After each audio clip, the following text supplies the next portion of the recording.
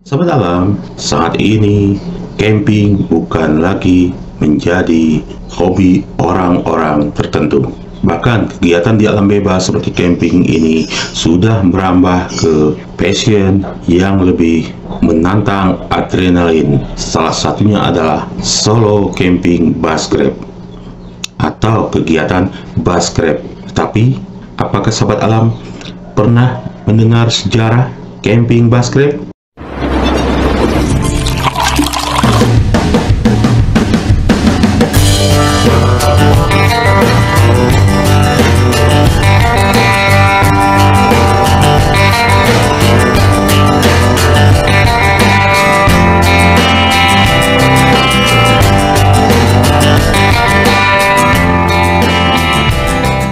Sobat Alam, kembali bersama saya Rudi Agusman di Gap Channel. Video materi kali ini adalah sejarah camping bus grab. Sejarah bus grab mungkin tidak terlalu akrab di telinga sahabat-sahabat alam yang berkegiatan di alam bebas. Karena apa? Kegiatan bus grab sendiri sebenarnya sudah ada sejak lama namun istilahnya baru booming setelah kegiatan ini dikenal.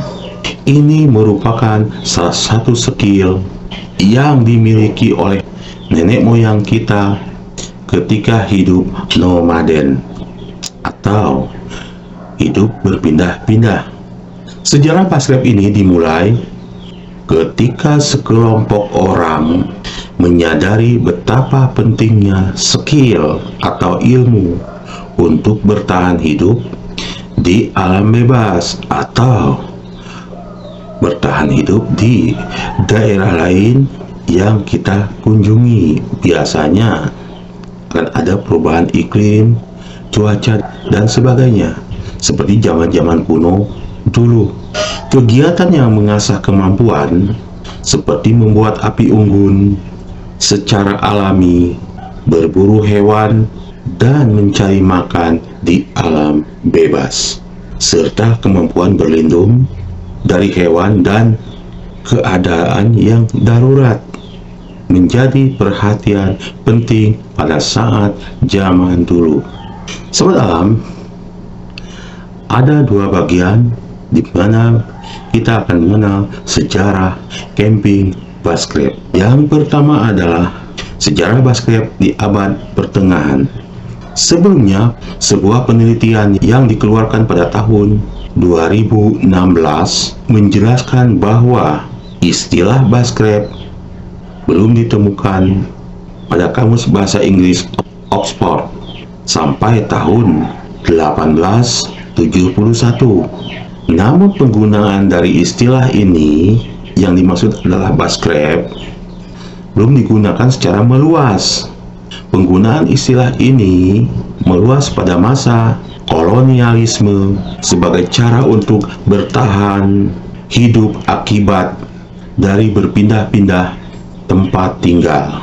Pada masa kolonialisme, orang-orang yang berpindah ini mengharuskan mereka memiliki keterampilan dalam membangun rumah atau istilah sekarang adalah shelter atau bila sahabat alam pernah mengikuti kegiatan pendidikan dasar atau pendidikan latihan ada yang namanya kita dilatih membuat bipak dan itu masuk dalam kegiatan materi survival mencari bahan makanan dan seni bela diri.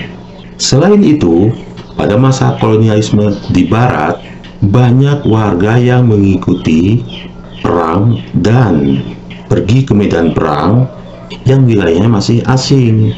Hal tersebutlah membuat mereka perlu memiliki keterampilan dalam hidup di alam bebas atau di semak-semak sehingga istilah baskrep mulailah dikenal. Lalu bagaimana baskrep di era modern? Baskrep di era modern tidak ada yang pasti kapan Baskrep dalam era modern ini dimulai. Jadi, di era modern ini tidak ada yang mengetahui bahwa kapan kegiatan atau istilah baskrep ini pertama kali dimulai. Tiap tempat seperti di Amerika, Australia, Inggris, bahkan negara lain mungkin memiliki waktu yang berbeda. Maka dari itu tidak ada yang bisa mengetahui kapan istilah basket atau kegiatan camping basket dimulai pertama kali secara data, tahun, atau tempat. Acara basket yang terkenal ada pada siaran televisi BBC. Tentu sahabat alam tahu bahwa BBC itu saluran TV London yang dilakukan oleh Ray Mills di wilayah utara Kanada. Kemudian, secara fantastis, rating dari acara tersebut menjadi terkenal. Basket yang dilakukan tidak main-main. Ia harus berada di tempat yang sangat dingin selama beberapa minggu. Tidak hanya itu, pada seria-seria yang lain, ia harus berada di wilayah hutan belantara seperti di Afrika atau wilayah yang memiliki cuaca yang ekstrim. Diketahui bahwa Ray memiliki pengalaman kurang lebih 20 tahun di wilayah dingin Antartika. Orang yang melakukan kegiatan baskrep ataupun solo camping baskrep, hal semacam ini perlu memiliki keterampilan mumpuni sebelum dilepas di hutan belantara atau alam bebas. Baskrep sendiri tidak serta-merta ada, namun perlu dipelajari untuk bisa memiliki keterampilan bertahan hidup di alam bebas, di semak-semak, di hutan belantara, bahkan di gunung-gunung dengan kondisi cuaca yang ekstrim. Oleh karena itu, pada era modern yang segalanya serba praktis, memiliki keterampilan seperti ini sangatlah penting. Siapa saja bisa melakukan kegiatan camping basket, bahkan solo camping basket. Untuk bisa mencoba dan mempelajari keterampilan ini, siapa saja bisa mencoba dan mempelajari keterampilan ini. Salah satunya mungkin sahabat-sahabat alam yang saat ini sudah terjun ke dunia konten atau youtuber.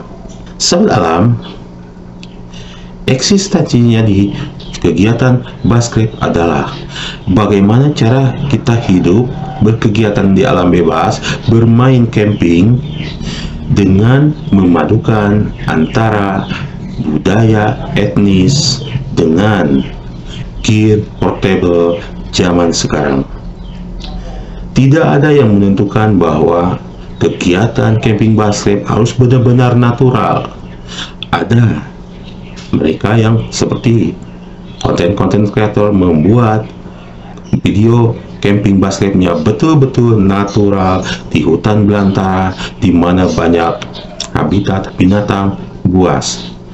Ada juga sahabat-sahabat alam lainnya, apalagi yang terjun di konten kreator atau youtuber membuat video camping basket atau solo camping basket dengan memadukan antara etnis dan gear portable. Silakan. Hanya saja syaratnya adalah kegiatan basket yang lebih menggunakan natural harus di lokasi dan tempat tertentu. Karena apa? Kegiatan basket yang lebih natural adalah seperti adanya membuat api unggun itu membutuhkan kayu bakar baik untuk memasak dan sebagainya. Dan bila kita berkegiatan di alam bebas, di mana hutan itu adalah hutan kawasan hutan lindung atau taman yang dilindungi oleh pemerintah, tentu saja kegiatan bebas yang mengeksplor isi dari hutan itu seperti hewan dan pohon-pohonnya tentu akan dilarang. Maka dari itu, kegiatan basket ditentukan lokasinya buat sahabat alam yang sering melakukan solo camping basket bahkan sahabat alam yang sebagai konten kreator untuk membuat dan menghasilkan video solo camping basket silakan sahabat alam bebas berfashion baskrip mau natural asli atau dipadukan dengan gear modern. Seperti apa misalnya? Mungkin di sisi lain sobat alam memasak dengan kayu bakar bahkan dengan tempurung dari kura-kura. Tetapi di sisi lain sahabat alam menggunakan playset sebagai shelternya itu adalah paduan antara natural dan gear modern.